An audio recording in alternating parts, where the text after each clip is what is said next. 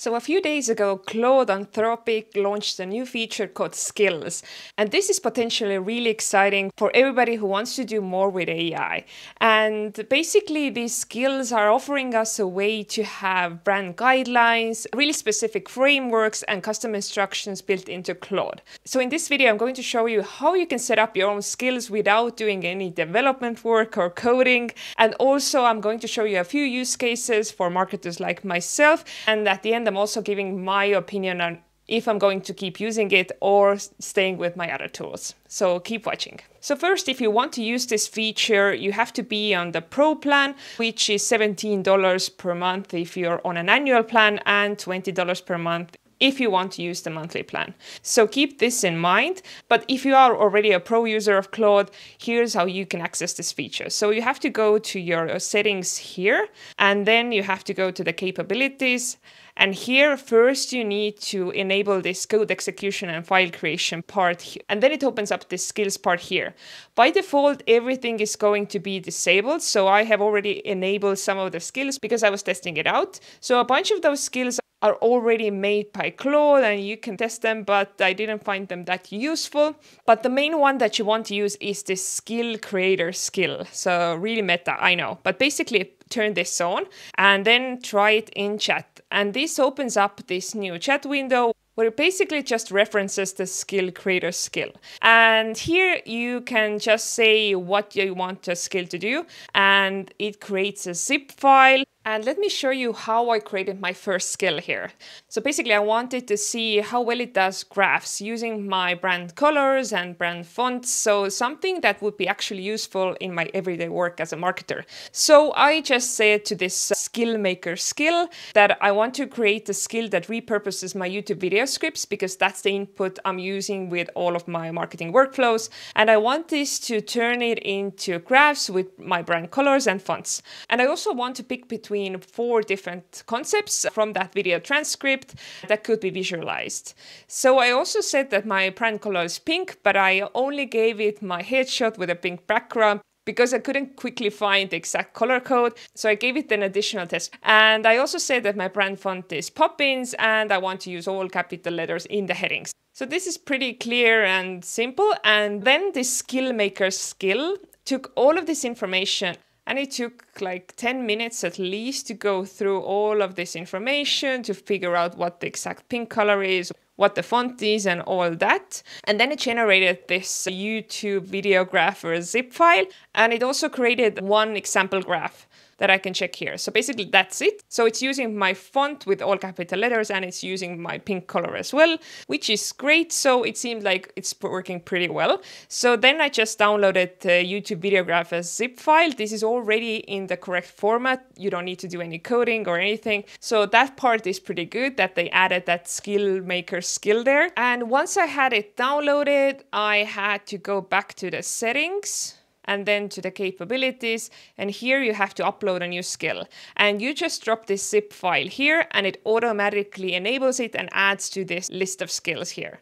And that's how you start using it. So once you go back to a chat interface, you have to reference that skill or here you can directly click on these three dots and open up the try and chat feature. So basically that's what I did here. So I referenced the new YouTube videographer skill and I said, here's my video transcript. So basically it should now know that I want to see four different concepts based on the transcript that I pasted here and I want these visualized with my brand colors and fonts. And that's exactly what I did. It came up with four different graphs. And once I look at them, this is the first one, this is the second one, this is the third one, and this is the fourth one. Looks pretty impressive. But here's the problem. The video transcript that I used was about this best marketing strategy in 2026, where I talked about uh, doing videos, basically building your founder brand just by doing short form videos every day and keeping a consistent publishing schedule as the absolutely laziest way to grow your business. And in that video, it's not about the numbers. Uh, I only mentioned the 100 day consistency thing, but it's not something that makes sense to show on a graph like this one. And here on this graph, it's making up some totally random numbers. And here, expected business growth. I don't mention this at all in the video. So it's just making up data and information that's not there. And this is a big problem. This means that even though it looks nice with my pink color, I'm not able to use this data. I'm not able to use these images. So this whole thing is totally pointless. But I didn't give up there. So I decided to go back and improve that skill. So maybe just need better instructions. So how you can do that, you just have to find that original chat. For me, it's this one. And then I added another prompt to it. So I said, I want this to use different graph types, and sometimes there isn't even data, but I just want the concept to visualize to explain it better. I don't want you to ever make up facts that are not in the transcript. So I'm being super clear about this. And then Claude took some time and it created a new skill zip file. And it also gave some example charts. So now instead of bar charts, I'm also getting a pie chart and the diagram as well. So far, so good. So again, uh, you have to download the zip file and go back to the settings. And here you just first need to delete that old skill and then upload the new one and start using this then. So that's exactly what I did. And then I went ahead and I opened up the new chat window and I use their default prompt, which is, hey Claude, I just added the YouTuber video graph skill. So this is the updated skill now. And I also pasted my transcript here already, so I thought like it must know what I want to get. So four graphs or visualizations are coming up, but no, it asked me a few questions. Do I want to analyze this transcript and create four graphics for me? Or I was just letting Claude know about the new skill for future use, which is weird. So of course I said my answer is number one. I want the actual skill to do the thing I ask it to do. So then it took the same transcript. He came up with concepts and then it asked, uh, do I want to visualize those concepts? So again, I had to now say yes. So I don't know why it now started second guessing everything. I, I expected it to already know based on the instructions that are inside the skills documents what I want to get. So why all the questions, Claude? But okay, I said yes, I want the visualizations. So it went through the whole thing and it created four graphs or visualizations for me. So now, checking this out, this is the first one, the five minute daily video process, record video, upload that, caption, publish, repeat in five steps. This is kind of good, but as you can see, again, some problems. So this part is cut off here. Again, I don't want to go into Canva or some other tools, try to fix this graph that isn't that great to start with. Then also the repeat daily thing is understandable, but the whole like arrow here looks weird. So these small things kind of drive me crazy about AI outputs. I don't want to go and do any edits if I'm using AI to visualize something. But okay, let's check the other pictures. So this is the second one. So it talks about the 100 day commitment to growth. The key is consistency every single day. This is correct information. So day zero is the start week two or three there's a challenge and you feel like quitting um, yeah this is actually good and then day 100 is the milestone and the result is growth so I think this chart is actually usable. The font is super small down here, so I'm not super sure, but I think this is the closest I have gotten to being happy with output and maybe using it in my everyday work. But let's see the next one as well. And so the last one is AI content planning workflow, problem, define your ICP. Okay, this is weird. It doesn't make sense. Why are the arrows going that way? It should go from the problem to defining your ICP, so the other way around. So again, I appreciate that it's using my brand colors and the fonts, but it just doesn't make sense and I won't use it. So at least with this use case, not happy. But I wanted to check out some other like simpler use cases because AI outputs with graphs, infographics, images have always been so inconsistent that I rarely use them. So next I tried out a newsletter creation from video transcript. This is something I'm usually doing with this content automation workflow this is built in make.com and I'm triggering this from Airtable and you can go back in my channel and see how I have built all of this. And if you want to get these blueprints, join AImarketingmasters.com. But what I wanted to show you here is the newsletter post that I'm automatically creating based on my transcript just by choosing this one action here. And the output is really useful for me. And of course I need to do edits here, but I also have to add images to make it more usable. So I was thinking I'm going to try out the same prompts that I have stored here in make.com in the AI modules and see how the outputs compare to mine here. And so for this again, I went to this skill creator skill. I opened up the new chat with a prompt And then here at first it says the default, hey Claude, I just added the skill creator skill. Can you make something amazing with it? So this is always added by default. And then I just added that I want to give you a video transcript and I want you to create the newsletter automatically from this based on my requirements. And then I added the exact prompts that I'm using here in my make.com automation. I'm using Open Router module, but this module is actually using Claude Sonnet 4.5. So here I just copied my prompt that says what my name is, what I want to cover in this newsletter, and how it's supposed to be all based on a video transcript.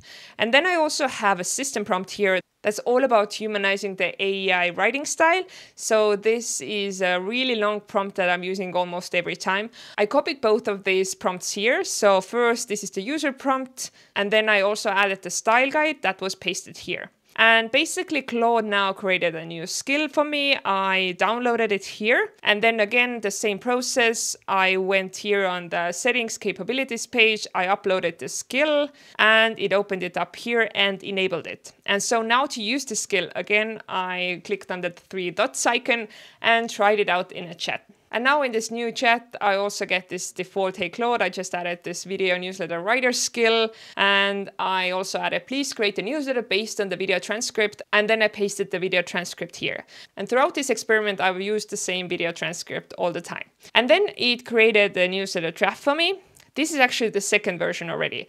In the first version, I didn't have the images, I just had the text. And I compared the output of this with my content system here. And I have to say, I really prefer the output that I have here.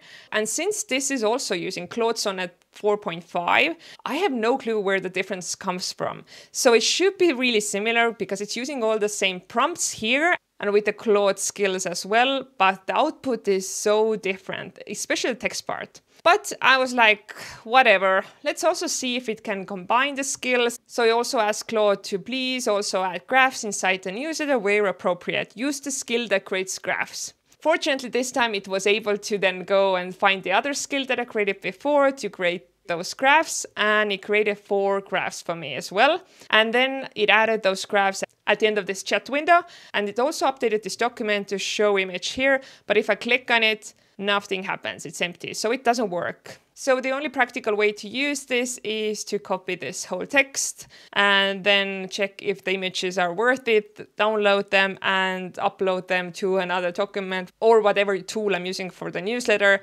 But let's see how the graphs even look like. So the five minute daily video strategy, record, add caption, publish, repeat, repeat next day. Yeah, it's all correct. I don't see any obvious mistakes. So I could use this but at the same time, it's not mind-blowingly engaging. So let's check the next one. Okay, day one, habit forms, day 50, push through, day 100 as results show. Before zero visibility after after three times business growth. Okay, I could basically use this as well. Uh, third one, your video. Okay, I don't like this because the text is too close to this graph, so I wouldn't use it. And the last one is the risk versus reward equation, worst case but why is there no header for the best case scenario? So again, these small things drive me crazy, so I wouldn't get to use this one. So the verdict. I honestly wouldn't use it. I upgraded Claude again just to try it out, but honestly, I've been using genspark.ai for everyday AI questions and tasks that I'm doing. And even though I love Claude when I'm using it on the API side and I'm doing my automations, I don't think I will use this one. Of course, if you already have a Claude Pro plan and you're using it daily and you have your project set up, you're a power user, you can definitely do something really valuable with this.